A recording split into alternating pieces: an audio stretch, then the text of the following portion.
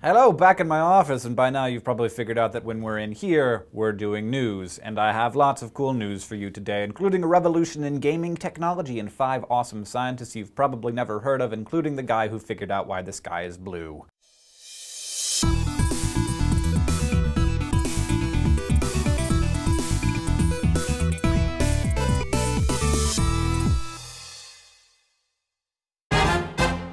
Now, for our first bit of news, I am psyched to be able to use two incredibly amazing words in the same sentence, and those are laser and fusion. And also, we have possibly the coolest name for a laboratory in the world, the National Ignition Facility, which is a government funded lab in California that is home to the world's largest laser. And scientists there want to use that laser to superheat a pellet of hydrogen until it undergoes fusion. A couple of days ago, officials at the NIF said that within a year, they'll reach an important milestone in this quest, which is ignition creating a self-sustaining fusion reaction that will generate as much power as we put into it. But this wouldn't be a fusion story if it didn't include a big but, and this one has several big buts. Like, but they're not saying they'll actually be able to create a surplus of energy. And also, but the NIF has been saying they've been a year away from creating ignition since 2009. Also, but the National Academy of Scientists said just last week that instead of betting the farm on laser fusion, the government should probably be also looking into other ways to create fusion, like using giant superheating magnets, and that also sounds quite cool. But still,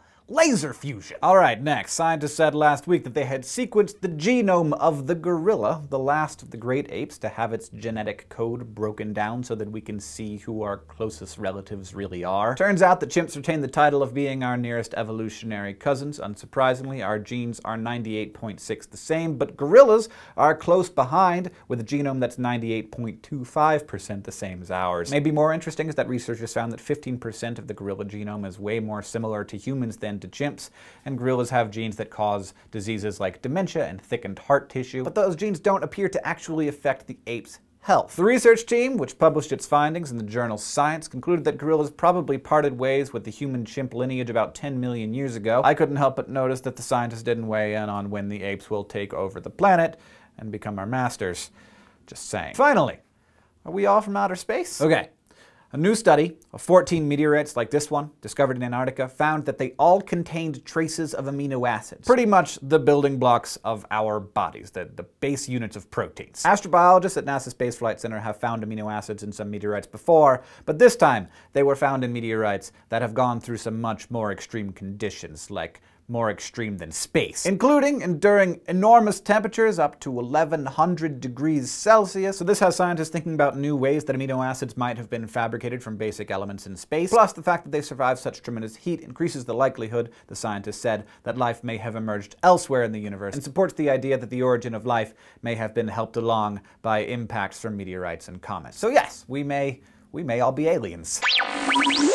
Alright, now if you're gaming while you're watching this, then you should probably stop because now we're actually going to be talking about games and that would just be too meta. Potentially, a revolutionary development in the world of gaming, the invention of the first ever orchestrated game. Game orchestration is a concept that lets two players or two groups of players interact with each other at different levels. While one is playing the game, the other, called an orchestrator, is actually designing and redesigning the game in real time, changing the experiences for the other player. The concept was developed by computer scientist Nicholas Graham at Queen's University in Kingston, Canada, and a few weeks ago, with the help of programmer Irina Schumann, he unveiled the first orchestrated game called Liberi Live. Now the guy at the top right is playing the game. There's a ball that he has to keep rolling over obstacles while picking up bonus coins and stuff, while the guy playing on the flat panel on the left is changing the course for the other player. Yeah, okay, it's not exactly Call of Duty, but imagine the possibilities here. In addition to actually working your way through a game and competing with other players, you can actually mess with the game itself and mess with the other player. I mean, if Catherine got a hold of this, she'd never let me win at anything. The technology itself is pretty awesome as well. Orchestrators can change the design of the game just by flicking their fingertips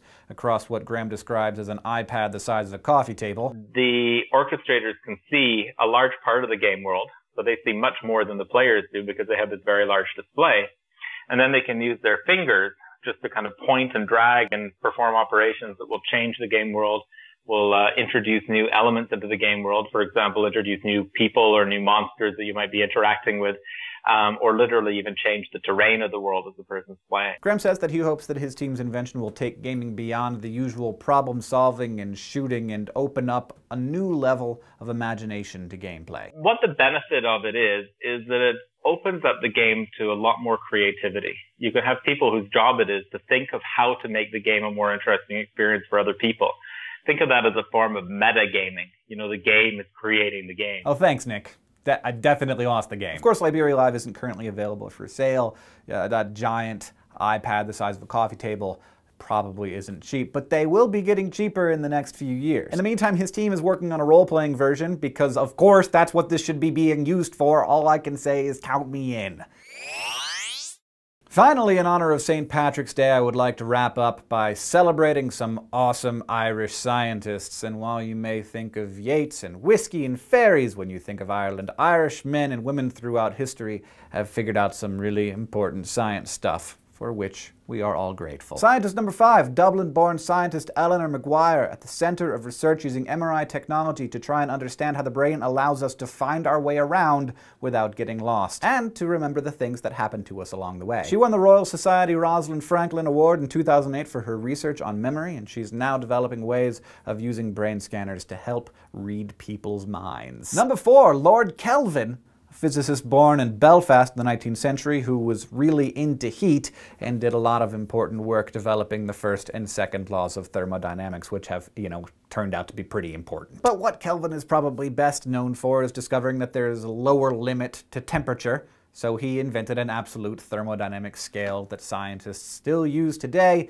and that's why, while you and I are using Celsius and Fahrenheit, scientists are measuring in kelvins. Number three, John Tyndall. Not only did John Tyndall have the greatest leprechaun beard in the history of science ever, period, he also figured out why the sky is blue. Thank you. Thank you, John Tyndall, so that I can shut all of the little children up when they're asking. In the 1850s, he did a bunch of pioneering work on radiant heat, the germ theory of disease, glacier motion, sound, and the diffusion of light in the atmosphere. And this led him to the discovery that molecules in a suspension scatter blue light more than they scatter red light, a dynamic known to this day as the Tyndall effect. Number two, Robert Boyle. Now, there are a few guys out there who have been called the father of modern chemistry, but Robert Boyle was the first. Born in 1627, Boyle's dad was pretty much the richest dude in Ireland at the time, so Boyle got to do, you know, like whatever he wanted, and apparently he wanted to do chemistry, which, you know, if I could do anything, uh, I don't know if I if, if I would have been as, as good of a soul as Robert Boyle. He messed around with pressurized gases and came up with Boyle's law, which says that the pressure of a gas at a stable temperature is inversely proportional to its volume. But while most people at that time who called themselves chemists or alchemists were trying to turn crap into gold, Boyle was really into chemical analysis, a term that he actually coined. He mixed together chemicals to see how they reacted with each other and typically noted every single niggling detail about his experiments right down to the direction of the wind,